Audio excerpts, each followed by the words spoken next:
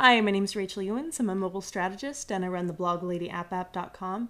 And today I'm excited to talk about one of my favorite apps, and it's an app used to make a band flyer, and it's called Phoster.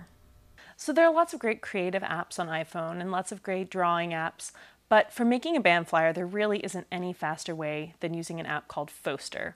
Now that's not poster, it's Phoster, P H O S T E R. Now, Phoster is an app just directly allowing you to make your own posters. So we're going to try creating new. And the nice part about Phoster is it's kind of idiot proof.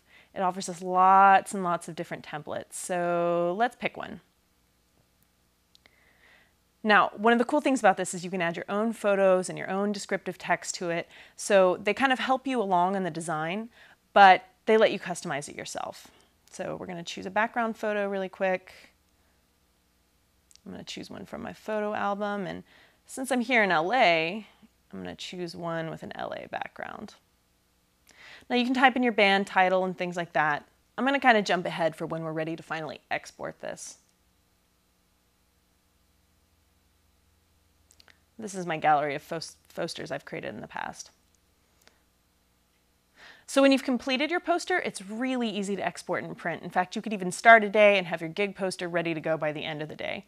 So we're going to hit the share button and you can actually send it directly to a printer, send it directly to an email, or you can put it on your Facebook wall if you want. So you've got your band flyer, you're ready for your gig. This has been how to make a band flyer with iPhone apps. My name is Rachel Ewens.